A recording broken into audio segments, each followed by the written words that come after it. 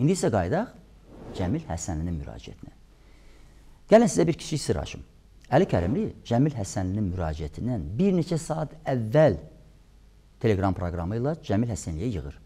Cəmil Həsənliyə mitinqin keçirilməməsi üçün müraciət etmək tapşırığını verir.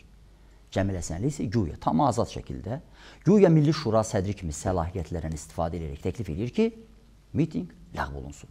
Şurada müzakirə edib qərar çıxarır.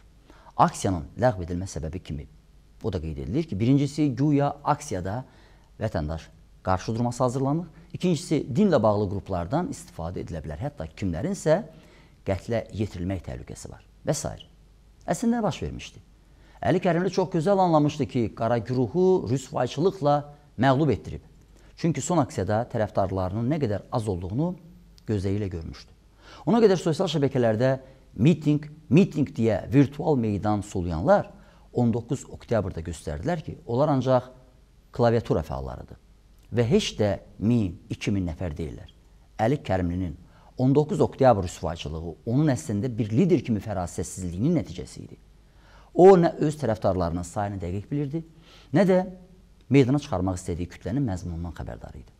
Asayiş keşişlərinin normal rəftarını nə qədər mənfi tonda təqdim etsə də, kadrlarda uzağı bir-iki qapaz elementindən başqa heç bir kobudluq tapmayan, bir neçə polis əməkdaşının nadinc kütlə vahidini qucağında maşına qaçaraq aparması tək sivil anti-aksiya hərəkətini vəhşilik kimi təqdim etməkdən başqa yolu qalmayan lider ən azı özünə etiraf etməli oldu ki, uduzub. Kütlə isə öz payına orta yaşlı, alnı çapıq liderini, hərəkat qarantisini tanımaq imkanı tanıdı. Gəlin etiraf eləyək ki, Əli Kərimli son 10 il ərzində bir qayda olaraq ekrandan danışıb, monitordan kükrüyüb və uzun fasilədən sonra ilk dəfə idi ki, qanunla baş-başa gəldi və bu toqquşmadan da başı əzildi. Əli Kərimli toqquşdu, başı ağrıdı və 6 ya 8 yerdən tikdirdi. Bu qədər. Qorxdu və növbəti dəfə baş-başa gəlməkdən çəkindi.